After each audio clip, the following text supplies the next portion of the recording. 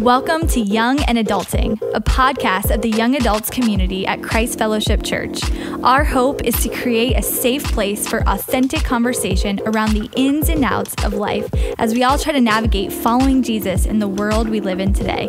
Thanks for joining us and welcome to the conversation. Welcome back to another episode of the Young and Adulting Podcast. My name is Tyler. I'm going to be your host for today. We are in season four of the podcast, and we're asking the question, why? Now, if you'll refer to season three, it was all about asking the how question, but we're talking about the why, the important questions we have. And, and our hope really is that this season of the podcast will give you confidence in your daily walk with Jesus, knowing what God's word says, why he says it, and we're really believing that knowing and understanding the why behind some of life's biggest questions can help us get through any of the how stuff that life throws our way. So today, I'm excited about it because we are recording live at Christ Fellowship Conference with one of the most amazing people on the planet special guest speaker, Pastor Earl McClellan. Pastor Earl is the founder and lead pastor of Shoreline City Church, a dynamic communicator of the gospel, passionate about developing leaders and people, father of three, husband. You're crushing this yes, right now. Uh, You're crushing God. this. And yeah, you've been married over 20 years. You yes. host a podcast with your. I mean, I could go on and on, but we're excited that Please you're joining the conversation today. Yeah, yeah, yeah. Well, but before we jump into the subject today, and really this episode is answering the why question why are relationships so hard? Oh goodness! Before we get there, oh boy! Before okay. we get there, I know you got stuff to say, and I got lots of stuff to listen to. uh, what do the people need to know about you? Fun facts. The floor is yours. The, honestly, the best thing about me is my wife is so fine. Okay, so I call her my sexy piece of dark chocolate. Okay. Bring, I'll bring I'll bring her on right now if you want me to. to okay, I mean, you don't want me to, honey? Okay, she's over here in the yeah, back. That's your call, man. uh, honey, you sure? You look She's good. Sure. So she that's the best yeah. thing about me. Uh, love her so much. We've been married yeah. 25 years now. Come it's gone on. by so fast, and it's been an absolute blast. Then uh, what, something else that's fun. I love my kids yep. for sure, and I still love playing basketball. Okay. My, my, I have an 18 year old. We have an 18 year old, and he and I we ran the court the Come other day. On. It was so much fun.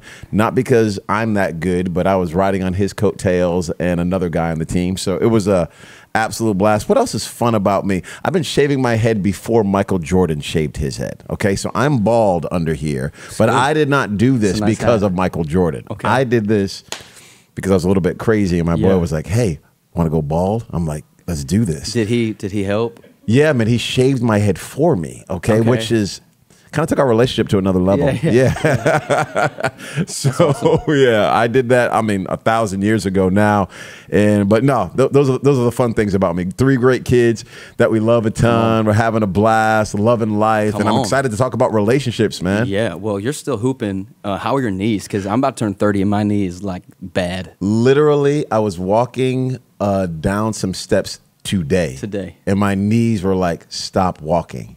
Yeah. And I said, yeah. you know what? I'm going to drive these things into the ground. okay. I'm, I'm going to go until I can't go anymore. So, matter of fact, last year I had this crazy injury. I was playing in a men's league that I'm probably too old to be in, but I still no, love man. playing. No. And I got this random injury, man. A guy hit me in my face, and my whole left cheek was numb for six months. I wasn't able to play for a while. Got to pay to play a little bit, Man, you know. A little bit. It was it was crazy and wild, but I'm back out there. Come the on. old guy doing the sky hook shot. You know, now LeBron James just beat you know Kareem Abdul-Jabbar's record, yeah, yeah. so I, am still doing the Kareem Abdul-Jabbar hook Come shot. On. Come on, and loving it. Well, that's good stuff. I love your hat, by the way. Thank you. My wife uh, picked it out.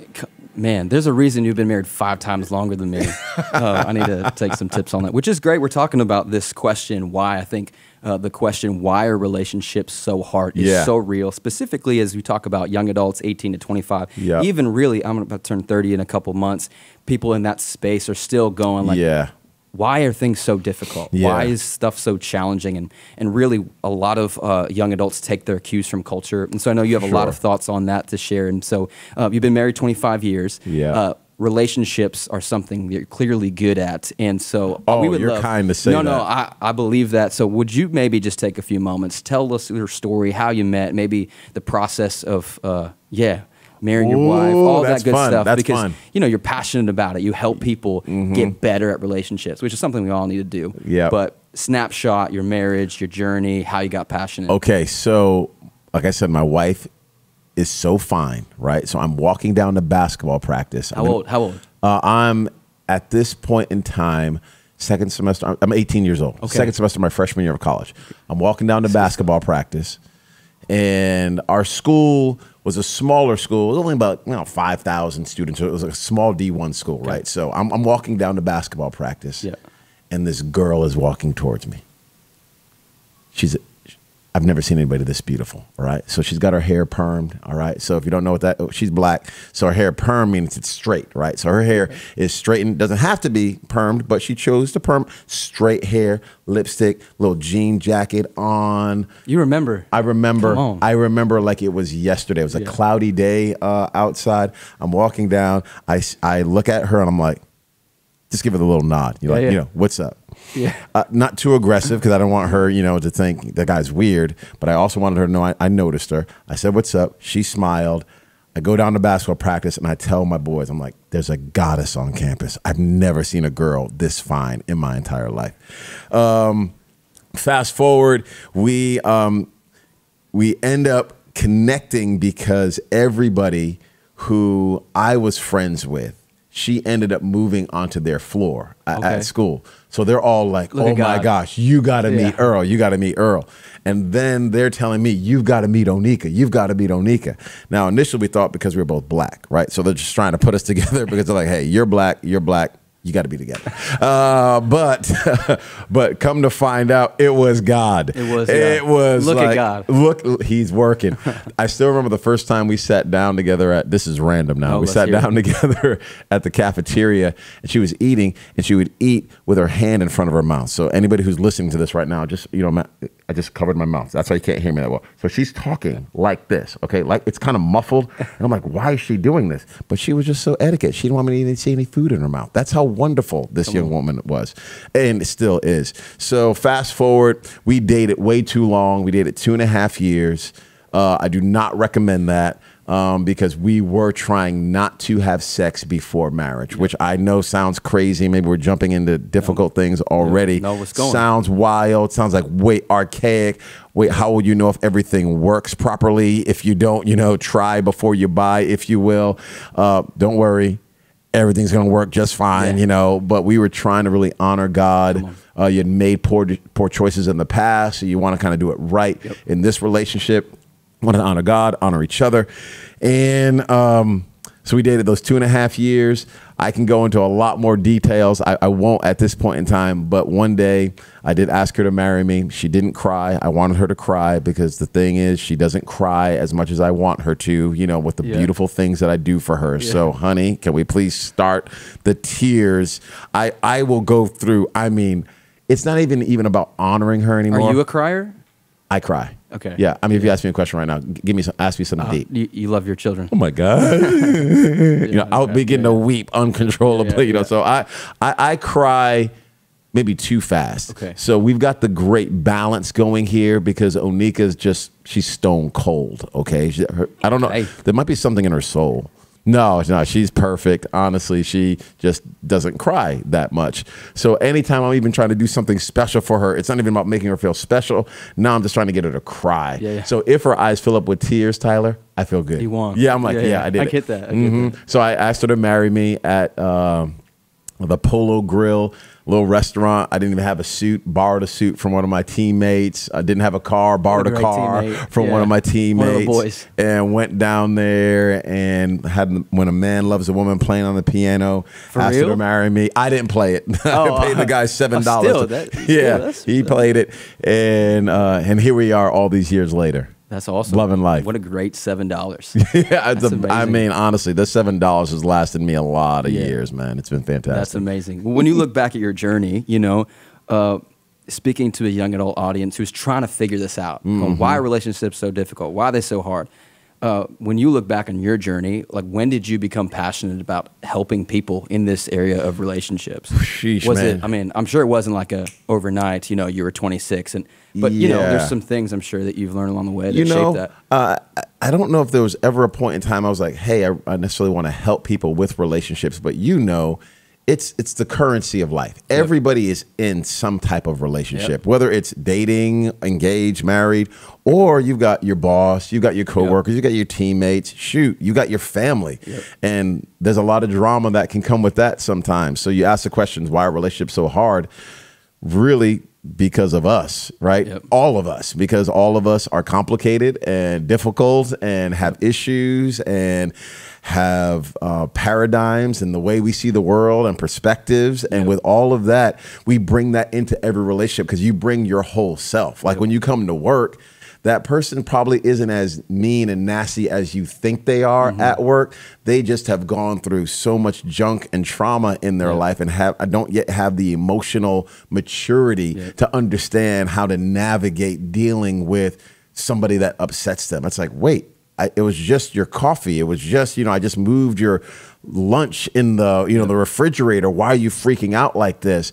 Uh, but they just haven't, you know, worked some of those other muscles. So for all of us, man, I feel like if we don't take the time like you're doing to talk about why are they so hard? How can we get better? How can we create some kind of ease?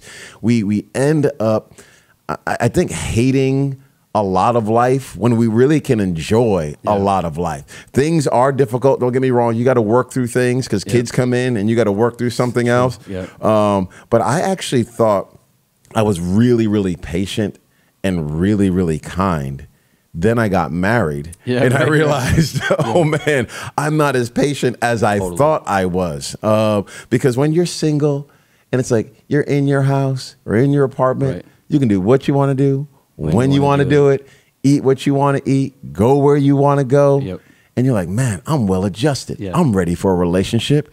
And then God brings you someone and they've got their own flow Right. and they got Yeah. what they want to do when they want to do it. And you're like, uh, well, why aren't we doing my thing? Totally. Uh, in our marriage, we had our first year was not hard at all. People are like, oh, your first year of marriage is so difficult. Ours was not. Second year of marriage, not hard at all. Third year of marriage for us was difficult. Uh, and not difficult where we're like, you know, throwing things at each other. We actually don't, you know, don't yell or throw things. Um, but Oneka says that's when I got an opinion. And that's Oh, what made things difficult in our relationship. Because up until that point in time, she was like, Where do you want to eat? And I'm like, I don't care, wherever Yeah, you yeah. want to go. And it, we were just doing whatever she wanted to do. Yeah. In year three, I'm like, Wait, I don't think I like this. I know what I want. Yeah. I, I want I want barbecue. Yeah, yeah. Want hot wings tonight. That's right. And she's like, I don't I don't do barbecue. I don't do barbecue. I do I do broccoli. And I'm like, What's broccoli, I'm bro? done with broccoli. you know. Uh, I remember one time we were in the backyard because I still like playing sports, even you know back then and up until now. Come on, so I hadn't played sports for a while. I'm like, hey, honey. You want to throw the football with me in the backyard? and I grabbed the football, and my wife, again, she's gifted, talented, a leader of leaders. Yeah. Okay. Sports is not her vein, but she can do everything else. So we're in the backyard. I throw the first pass. Her hands are up. Ball goes right through her hands, busts her in the mouth. Oh, man. Her lip gets big. And now I look like an abusive husband. You know, this is not good at all. I'm like, honey, no longer will we ever have to play, you know, sports. But here, here I am, like, hey, can we can we do Yeah, my right, stuff? right. Can we do my stuff? Can we do my stuff? Can we do my stuff? And she was kind and accommodating, but it definitely created some tension Yep. because now she's needing to die to her flesh. And then I got to make sure I'm not trying to do things out of pride and out of ego and out of selfishness. Yep. Uh, so it, it was just another dance. Then when we launched the church together and she and I, we do it together, like we parent together, you know? Um, well, we, we started it where now we're working together. And I'm like, I want to go this way. She wants to go another way. So we start stepping on each other's toes. And so I say all that to say there's a ton of uh, of selfishness, of pride, of ego, of insecurity that I had to deal with. Um, that you know, God was using my wife Yep. and our opportunities to grow and develop to shape me and mold me and change me into who he wanted me to be. And I'm a long way from being where I want to be, but I'm thankful for her kindness and her grace over the years because she's definitely helped me uh, become a better man. Amen. That's amazing. And I think what's so incredible about that is you're talking about relationships are complicated, but we have this opportunity to get better. And as a pastor, right, you're pastoring people who are in relationship with one another, in relationship with you, Yeah, and are complicated. And people are, are working things out all of the time. And I think what one of the things we're up against, even in 2023, um, Pastor Todd was just talking about it, is the the cultural language and Oh, narrative yeah. that so many uh, young adults, young people in general, are falling prey to the narrative, Yep. or to the mindsets, or to the language, or to the con- con- concepts of what Mm-hmm. love is and what relationships should be like, or even what sex. Is. I mean, all, you could go down the for list, sure. and that is the predominant uh, voice in a lot of young people's Mm-hmm. life. Of this is the cultural norm, expectation. You watch something on Netflix, and then you go in a relationship, and you think like, wait, things don't go this way. Yeah. And so, if you want to speak maybe to uh, to to that for a few minutes, because I know that you've done some Mm-hmm. uh, some talks with with the church on some cultural lies that we believe. Yeah, right? What are the lies that that Yep. people are believing? Yep. And then what what is the truth to combat it? You know, you even mentioned great. it earlier. Like you got to try it out before. You know, like Yeah, some of that right. stuff. I heard that in like seventh grade the first time. Like, yep. I mean, literally, these are things that you know back in 2007 I was hearing. Kids nowadays are hearing much earlier Oh, and for sure. Yeah. So Third what- grade, fourth grade, yeah, so fifth let's grade. let's talk Yeah, about that. Let's talk about some of the cultural lies that are commonplace and common narrative, um, maybe in the relationships you see uh, in your church and just uh, today at large, and what the truth is to combat them. Yeah, well, I'm going to go probably too deep initially. I'm just, I'm just saying that to those who are listening right now. Okay, I'm, I'm assuming a lot of you love Jesus. If you don't, you're on the journey. We're glad you're here. Glad you're listening to this. Um, first and foremost, you don't belong to you, and this, this is hard for us to get Yep. because we think I belong to me Yep. my desires, my will. What do I want? When do I want it? I mean, my kids are going to grow up in a day Yeah. where they probably never have to go to a grocery store ever. Yeah, that's you know, for the re- ever. If Yeah. they don't want to, they probably won't ever have to go. Everything will be sent to them. I, I grew up going to the store, Yep. but they're going to go up in a day. It's like, no, I don't want that. Yep. I want this other thing. Oh, they didn't bring me the right thing. I'm going to order something else. Yep. And it's just going to be brought to me whenever I want it brought to me. It's not a bad thing. Shoot, I love Amazon Prime. You know, I'm a Prime member. Uh, but at the end of the day, if you start treating all your relationships like that, you start treating your life like that, like everything's just going to be brought to me, then you'll never have all that you're supposed to have in this life. Because there are a lot of things that God wants you to learn to fight for. Yep. Uh, I am, my wife and I like to work out together. Uh, it's so much fun. And, you know, whether it's, you know, squats or, you know, bench press, she benches more than me too. She's so strong. Uh, so we're out. No, not really. she could if she wanted to, Yeah, though. That's how amazing she is. Um, but we like, you know, like going out, you know, working out together. It's Yep. the resistance that makes you stronger. That's You- a word. You you have to you have to have that. If we don't have any resistance at all, and and my wife and I, Oneka, when she's over there, she knows this.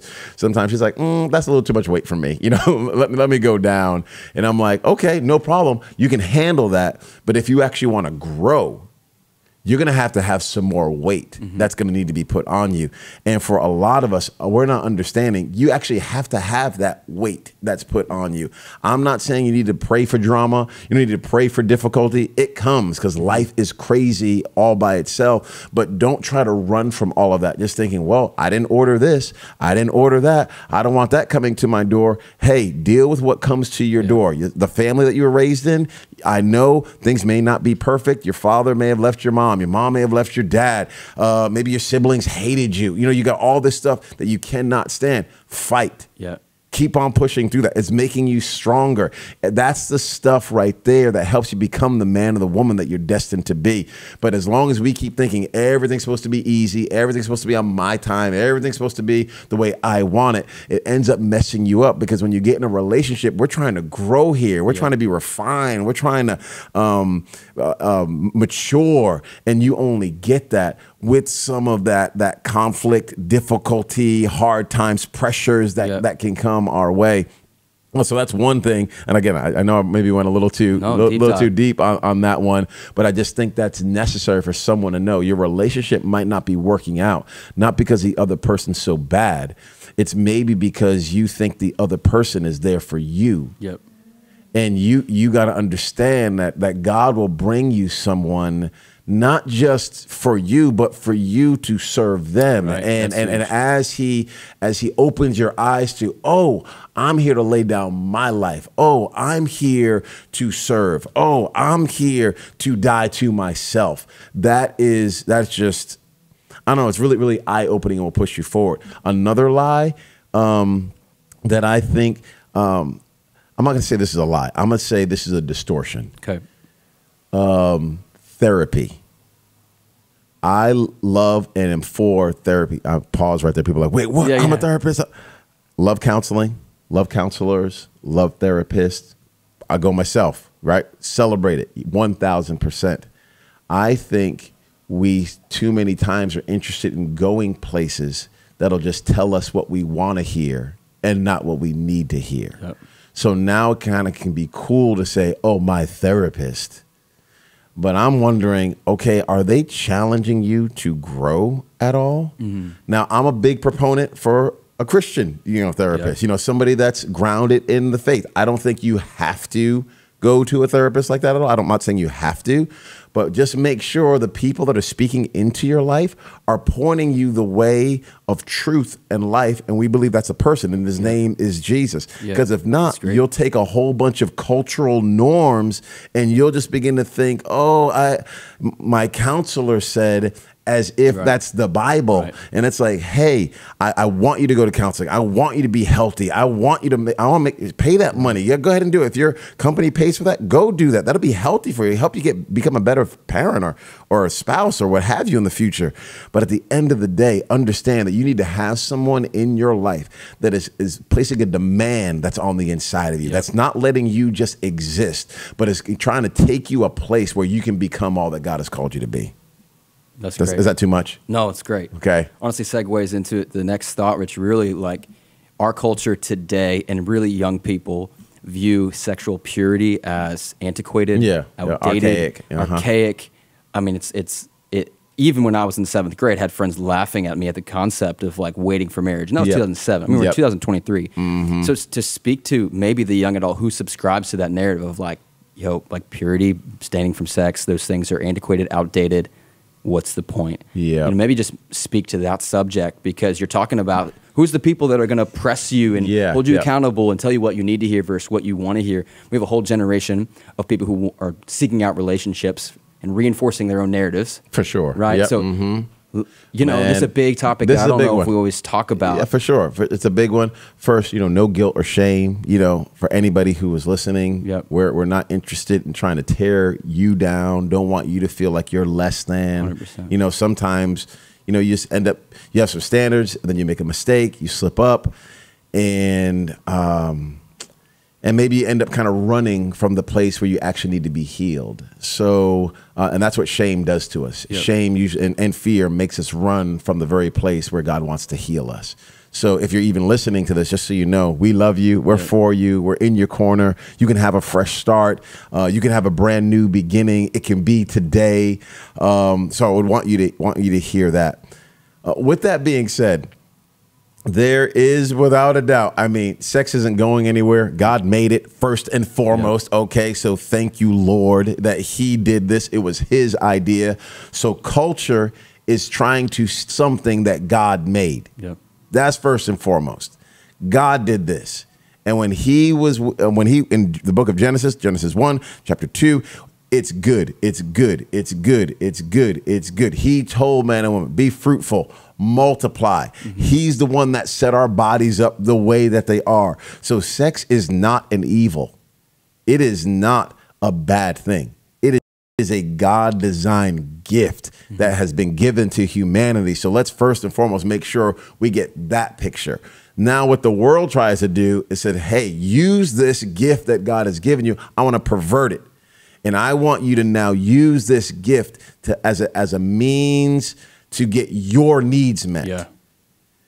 But when we look at the life of Jesus, we know Jesus came to lay down his life for others, not to take from other people. Yep. But that is what sex continues to do, is tries to take, tries to take, tries to take. Then it tries to trick you into thinking that you're closer to a person than you actually are. Wow. It'll make you think we're bonded. It'll make you think we're connected. It'll make you think we got a deep relationship. You don't have a deep relationship. You got maybe good sex, but it's it's it's uh, coming at the at the expense of emotional connection, spiritual connection. So what I, what we ask people to do, and what we encourage people to do, is say, "Hey, take this piece of your life, this sex piece, as a dating couple or whomever.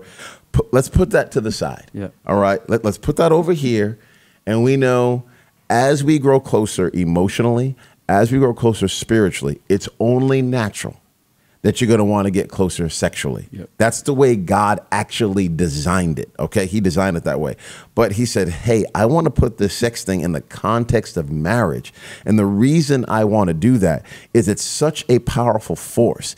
And if you take this gift and you begin to distort and manipulate it, it has such force. Yeah. This thing can actually take you, can actually push you over, almost like a wave that will come with a rip current that can pull That's you a direction that you don't want to go. So what I want to do is I want to put it in the context of something that has the strength to be able to contain all of that power. But if you do it outside of that, if you take sex and you and you you begin to enjoy it, quote unquote, outside of the context of marriage. It pulls you directions emotionally, it pulls you directions spiritually, it pulls you directions mentally. I ask, are we are we better off mentally and emotionally with everybody sleeping around? It, are we better? It's a great question to ask. Yeah. Uh, it doesn't look like it to me. Yeah. Doesn't look like our relationships are flourishing. I'm telling you, you can have the person can be the finest person you've ever met body banging. I mean, on all, I mean, just like, whoa, oh my, look at that guy, look at that girl. It's the, anybody can become ugly after a while. If you don't have a connection that goes beyond the physical, your relationship will be shallow, mm-hmm. hands down. So what we want to do, we want to encourage people. Hey, let's get some depth to our relationship here. Let's. Who are you? Where are you from? What have you walked through? What are your prayer requests? How do you connect with God? When you read the Bible, what are you hearing? Those are the types of things that begin to push you forward. I know I'm being maybe a little bit all over the place here, but I get really passionate, you know, about it. this because so many of us are are buying into this lie that you know you got to have sex as your foundation. You don't need sex as your foundation for a healthy ma- marriage or relationship. You need God that's as a foundation for a healthy marriage or relationship. Yep. That that's what will help. You need serving. Yep. You need sacrifice. Um, we were talking a little bit even this past Sunday, you know, about it. Our oldest is about to go to college and can't believe it. It's go. wild. I don't know how it happened. Uh, my wife looks like she's still in college. That's how beautiful and young young she looks. But he's about to go to college. Man, it's crazy out there. Everybody always says don't blink. So I, am like, I keep my eyes like yeah, try like, to keep them open, man, because it happens so fast. But he's gonna go, and he's gonna be able to have access to whatever he wants right. to have access to. Yep. So, you know, as parents, we do try to give him a level of freedom now while he's in our home because sure. if he's going to make any mistakes, I want him to make them while right. he's with us rather yep. than, you know, he gets out there, he doesn't know how totally. to handle himself at a party, doesn't know how to handle himself. Totally. If somebody asks him, hey, you want to do this? You want to try this? So we try to create some space for him uh, to, to, you know, learn some of those things now. We're praying. Yeah. I don't know what's going to happen, right? right? But believing that he's going to stay stay the course but when he gets out there, he can do whatever he wants to do. And some people that do whatever they want to do, they think that's freedom. Well, I don't think they're free. Yeah. And the reason I don't think they're free is I would say if you're so free, then stop. Stop. Yep. Stop sleeping around. Stop pornography. Yeah. Stop DMing everybody. Let's stop. Yeah. You're, if you're so free, just stop you'll find out really quick that you're actually a slave to your flesh, yep. a slave to your lust, slave to your desires.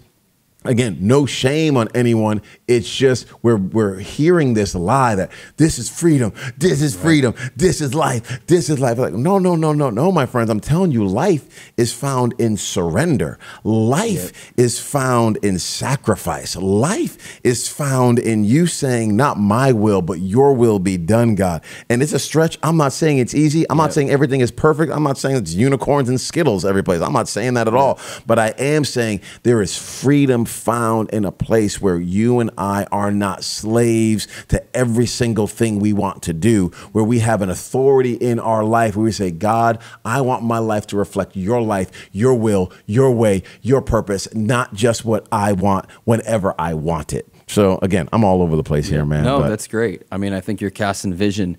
I think a big responsibility we have is to cast vision for the, the beauty of relationships the way they were intended by God. And I think a lot of us, even growing up, I think that the church at large, the narrative that a lot of young people heard, you know, even 10, 15 years ago is, is sex is bad, don't do it. Yeah. Mm-hmm. And impurity became this like church cuss word that like you don't want to hear. You know what I mean? Like yeah. uncomfortable. And yeah. I think that we have this opportunity to recast a, a, a, persuasive, better option for what that is and what life looks like. yeah, know? Tyler, can I say this too? Um, there are so many um, people and and I, I I battled pornography. You know, I had this as a part of my life for too long. Thankfully, by God's grace, yeah. it's been you know 25 years since I've looked at porn. It's uh, it's a miracle, but that was not the case. You know, as I'm teenager, college student. You know, even into the very first year of my marriage. So I I know the the the cycle yeah. and the um, the chain that that is, the addiction that that is. Um, but I also know what it's like to be free. Come you know, I, I, know I know what it's like to be free, yeah. and freedom is a whole lot better. Yeah. But when when you're dating someone and uh, you think, all right, I want to, uh, you know, we're, we're, getting close. Let's just go ahead. Let, let, let's just let's have sex. Let's just do it. I, I think we end up, and we don't know this. We think we're strengthening the relationship but I think in the long haul, we're actually hurting the relationship. Mm. Because when you get married, you don't get to have sex every moment of every day with your spouse. You have to learn how to say no yep. to your flesh, no to yourself. When you're on a business trip and nobody's around, yep if you have not learned when you're dating how to say That's no, great point, Pastor. then how are you going to be able to say no when you're on that business trip? Yeah. What happens in that dating time and even the beginning stages when you're a single person is you're working these muscles that will help you have the longevity you want to have later. Helpful. But if you don't work those muscles, yeah. I'm just telling you, it'll be somebody else to have sex with. There'll be somebody else to flirt with. There'll be somebody else who's going to be interested in you. Your wife or husband is going to be working a lot, or somebody let themselves go a little bit, and now somebody else is showing you a little bit of attention. And now, since you have this insecurity, you haven't learned how to have any self discipline, haven't allowed the grace of God to change That's you and transform you from the inside out. Now you're thirsty, and the first time somebody shows you some attention at the gym or at work, you're like, oh, yeah, I need more of that. I need more of that. I need more of that. Well, you, you haven't haven't been working the muscles, the muscles that need to be worked. So that's this is another positive to say, hey, let me not do whatever I want to do whenever I want to do it, right. so that I'm not just a flash in the pan. I want to have a marriage that's like I'm been married 83 years, right? And I got no teeth. I'm throwing in my dentures and still giving my wife a kiss. And yeah. I got my grandkids and my great grandkids sitting legacy. around. They're like, wow, I, I want to be like that. That, that that's what I'm looking for. I'm not just looking for a good Friday night. Yep. I want a great life. I, yep. I, I want a, a, life that not only honors God, but honors my wife and honors my kids and honors the people that God has given me to serve. So it goes beyond just what do I need. I'm living my life for something bigger and grander. That's so great. So I don't mean to preach here. I'm just no, I'm really do. excited. Please do stirring me, stirring me up. I love that. So we, we get it. Relationships are complicated. Uh, you know, you got an 18 year old, you got a 30 year old, both in relationships, maybe different kind of relationships, mm-hmm. but are still saying, why are they so difficult? Why are relationships so hard? we've all done this. We, we go on Google and we type in a question that maybe we want to ask somebody, but we're like, they'll judge me if I ask them. So I'm gonna throw on Google, see what Google has to say. That's that's real. Like it is. And it's, you know, like what's the you know whatever trivia, whatever it is. Mm-hmm. But it's real with this kind of stuff. Um, so a, a young adult goes on Google and they type in why are relationships so hard, and you, Pastor Earl, you get to fill the answer that they're gonna see in a couple Mm. phrases, a couple sentences. What is the response that shows up to them to that answer? I only got a couple couple sentences. I mean, I've seen like a paragraph. Okay. on those Yeah, responses, right. right? I mean, sometimes like it's- sometimes there's like, right. six- Uh, like you can have you can autofill like six of the You responses. can, if you can. want. That's Yeah, right. Right. Show more, you. show more. Yeah, yeah, I got you. If someone types that in, that tells me they're having some difficulty, right? That things are not going the way that they want it to go. So if I'm using my Google al- algorithm here, Yeah. you know, I, I've, I've been got my cookies on everything that you've been searching and you know you're on bumble and you're on this site and you're on that site and then you get to this spot where you're like why are they so hard Yep. I would just want you I I would put on there there is hope. That's what I would put. There is hope. I don't know that I'm answering that question. I think I'm answering the deeper question. Yep. Because you're trying to figure out is this worth it? It's great. should I even should I f- keep on fighting? Um, I'm tired of being alone. Why does this keep happening? That's what I think is really being said. So I would say there is hope. Love it. And then, um, if you would keep scrolling, you know, You not it. to, not to page four, uh, but keep on scrolling, I would say you you've got to find some great community Yep. to be in. And you know, I love church. I know churches aren't perfect. Uh, I'm not perfect, but I would just say you you got to find a place where you can get planted. Even you got to start watching someplace online. Christ Fellowship is a great place. Start watching online. Just get involved in online. Do do, do something. Uh, just start somewhere. Begin to get the right inputs into you to get your soul filled up, uh, so you're not going out looking for your next relationship on empty Yep. get filled up get whole. Begin to see yourself the way god sees you. Have some man some woman a pastor speaking into your life reminding you of who you are in christ why you were put on this planet that you're not a piece of junk. You're not supposed to be tossed aside. You shouldn't be somebody's side piece. You're not leftovers. You don't deserve that. You should not be abused. You should not be disrespected like that. You need someone to remind you who you are of all of these different things. Get so built up so that when you go back in you go back in not just broken and bleeding and defeated but because you you'll end up attracting stuff that you don't want to attract Yeah. with that with that type of mindset go in strong humble filled with faith filled with life not thirsty Yep. not looking for somebody else to complete you, but understanding that you're whole in Christ already. Come on. This works even for marriages too. Get, get, get whole, get strong. It's like things aren't working out right. Hey, you guys can't talk. Just begin, begin to get filled back up so you don't keep Yep. going into those same conversations broken and beat down. Come on. So then you can have a place of strength that can come from the grace of Almighty God. And then you can see these relationships become what they're supposed to be. It happens overnight, maybe sometimes, but most times it's uh, the, the daily decisions that begin to help us move the right directions. Yep. And, you know, we don't end up where we want to end because of intentions. We end up where we want to end up, where we're going to end up because of direction. Come on. So you got to be pointed the right way, not just wanting to point the right way, because that wanting will not get you there. You're going to have to end up being willing to make those changes. Come on. That's great stuff, So Pastor Earl. that was that, that's my Google response. Thanks so much. There is hope. There's hope. I love that. Pastor Earl, you have an incredible podcast voice. I don't know if anyone's ever told you What? that. Are you serious? Hundred percent. This Get is, outta I here. can't wait to listen to this again. Well, you do too. Oh, thank you. Thank you. Well, with that, uh, where else could people find more content from you? You know, plug along, Oh, get connected to the podcast. Okay. some. well, some- my wife and I do have a little podcast. I mean, we really did it for our church, but uh, we, we're finding some other people are jumping in on Come it. on. So it's called With So Much Love Yep. E and O. Uh, with so much love, E and O podcast, and we we're having a lot of fun with it. We're not as consistent with it as we need to be. I don't know how many episodes. How many episodes do we have now, honey? I don't know. 10, 12, something episodes. Uh, so we like to have a lot of fun on there.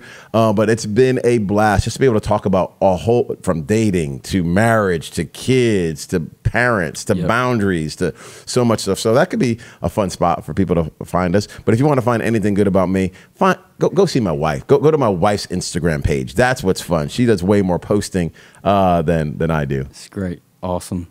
Well, thanks so much for being with us today. This has been great. Can't wait to listen honor. back and take notes. Well, I get to watch it back the second time. This has been a blessing to No, our, our young you. adults community and to our listeners. So, for those of you who've been tuning in, thanks for tuning in. We hope this is super valuable. And if you like this episode, leave us a comment, review, subscribe to the podcast, and don't forget to share it with a friend. You know, you could send it a text, but we'll catch you back next time for another episode of the Young Adulting Podcast. We love you. Peace. Thanks for joining us for this episode of Young and Adulting. Follow us on Instagram at cf.youngadults. And if there's a topic you'd like to talk about, we want to hear about it. Send us an email or leave a comment with your thoughts. We'll see you next time.